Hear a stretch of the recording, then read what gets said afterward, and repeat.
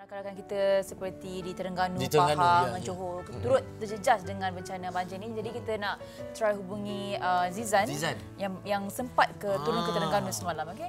Uh, Okey. Zizan, Assalamualaikum. Zizan, Assalamualaikum. Waalaikumsalam. Okey, Zizan, Lufa tanya Zizan sekarang berada di kawasan mana di Terengganu? Uh, sekarang Izan dah sampai Kuala Lumpur dah. Malam Izan di Terengganu. Di di mana tu?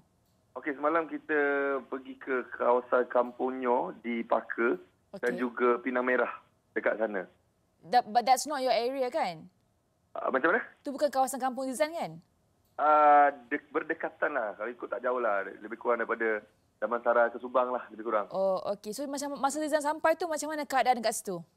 Keadaan kat sana agak menyedihkan lah. Tapi memang mengejutkan sebab uh, kawasan-kawasan yang sebelum ni saya lalu seperti biasa tapi hari ni uh, air sampai uh, pahu pinggang, uh, dekat dada semua benda memang tinggi lah. Okey. Ah. Dan macam um, Zizan sendiri sebagai selebriti sebagai public figure, apa yang Zizan boleh apa yang Zizan telah dah buat dan akan buat untuk masa sekarang? Pada saya, saya akan, insyaAllah saya tak akan berhenti untuk promo uh, jenis sumbangan. Tak kira pada siapa, tak kira pada uh, belah-belah mana pun janji mereka sampai ke mangsa banjir. Sebab sekarang ni memang agak teruk lah. Bila tengok depan mata, uh, sangat-sangat menyayat hati. Sebab kita mungkin duduk di Kuala Lumpur ni, orang kata tak rasa. Mungkin kita tengok saja. Tapi bila saya pergi sendiri kat sana memang susah. Walaupun saya duduk tak sampai beberapa jam, saya rasa kesusahan mereka.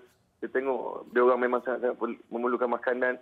Tapi apa yang saya fikir sekarang ni keadaan tengah banjir. Tapi selepas banjir, apa yang akan berlaku? Hmm. Saya fikir akan naik dari segi nyamuk, denggi semua benda, dari segi penyakit, Mm-mm. banyak tikus semua benda. Jadi pada saya dana, dana, dana itu yang mereka perlu dan bantuan dari segi bersihkan rumah dan pada mereka yang tak ada rumah, dana juga perlukan untuk Betul. menyiapkan uh, tempat tinggal mereka, makan minum mereka dan ramai yang kelaparan, sangat, Betul. sangat ramai. Dan selepas ini saya sangat-sangat risau tentang wabak mungkin apa yang akan berlaku. Tapi kita doakan supaya benda-benda itu tidak berlaku lah pada Malaysia. Baik Zizan. Okey Zizan. Thank you so much. Thanks a lot. Baik, baik, baik. Okay, jaga diri. Okay, bye. Allah.